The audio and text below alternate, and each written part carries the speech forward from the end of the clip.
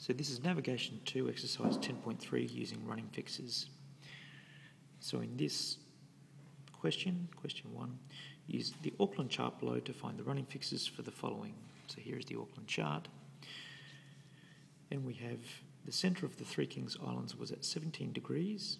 After we sailed for 40 nautical miles at 60, uh, at a bearing of 60 degrees, it's now at 337 degrees. So, in other words, we're far enough away from islands and land that we can only see one thing on the horizon or one thing that we can use as a fix, and that is the centre of the Three Kings Islands. So, first off, let's see if we can find the Three Kings Islands on the map Manukau Harbour, Cape Brett, Three Kings Islands. So, here's the Three Kings Islands, and you can see that there is three dots, one after the other, in a line. That's quite likely why it's called Three Kings Islands. So, therefore, the centre of the Three Kings Islands, so in other words, the middle one, was at 17 degrees. So, here we are with the compass rose. Let's find 17 degrees. That's 10. 17 is about there. Using our rolling ruler from the centre of the compass rose to 17 degrees.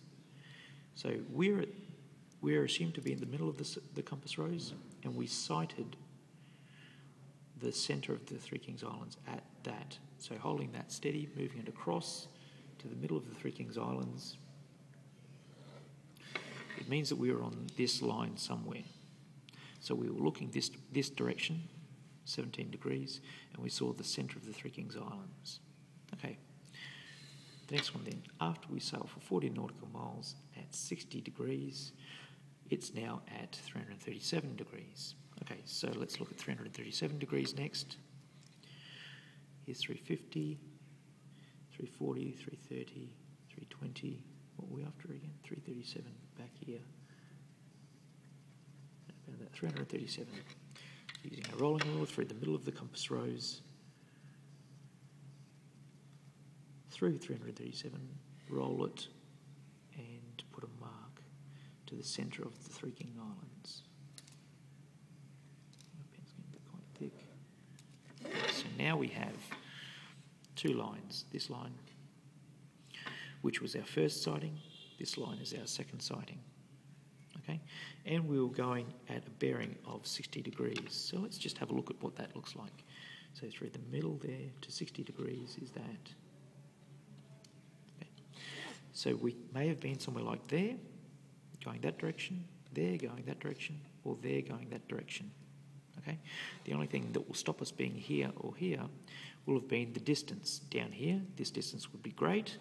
Up here, this distance would be small. So, how far did we go? We went up here, 40 nautical miles. So, we need a way of converting nautical miles into a distance on the paper. So, remember that lines of longitude can be used because it's a great circle. It can be used that one degree of line of longitude is exactly the same thing as a nautical mile. So therefore, we need to find 40 um, minutes. Sorry, one minute of a line of longitude is the same as one nautical mile. So we need to find 40 minutes. 35 to 36 would be 60 minutes, and it's divided up into one major section there. So that would be 30 minutes. So let's look at between 30 minutes and 36 would be 1, 2, 3, 4, 5, 6.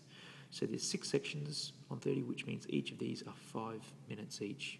So what we need is from there to there would be 30 minutes, plus another 2 would take us to 40 minutes.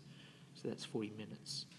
So somewhere on this line, we want 40 minutes at a bearing of 60 degrees. Now, two different ways of doing this. One is to actually get 60 degrees, like that. Roll it back and continuously try to see whether the gap between the two areas matches um, our 40 knot nautical miles. So there the gap is still too large. There the gap is still too large there the gap is a bit too small, so we're going to roll back. So that's about it. So that was our original point there, and that was our final point there. And we can draw a line between those two. So this was our original point, and this was our final point. Okay, the second way of working it out is instead of actually um, instead of actually keep on moving this around until we find that gap to be exactly 40 nautical miles, what we can do is use uh, lines of parallel to form a parallelogram. I'm going to show what's going to happen here. So imagine if we have two parallel lines that we know are parallel, if we assume that they're parallel, which means even though I've hand drawn them, we assume that they're never going to meet. If we cross them with two other parallel lines,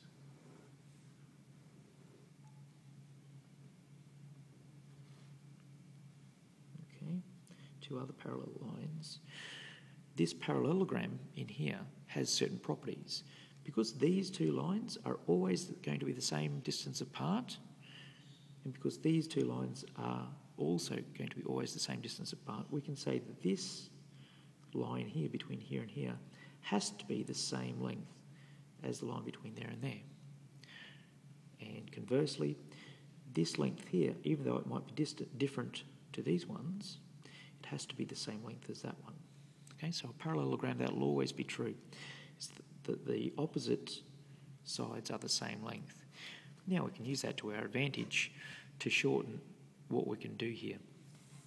So what we want to do is draw a parallelogram. So starting from our original location, and we know that this is going to be 40 nautical miles, and that's going to be a distance. If we said that we drew a line parallel to this one that we're expecting to give from the middle of Three Kings, so if we said this line here is once again parallel to any other line coming this way at 60 at a bearing of 60 degrees. So therefore, if, if we measured this distance from here to here, and we said that that's that distance there, this distance, if we move that rolling ruler anywhere back,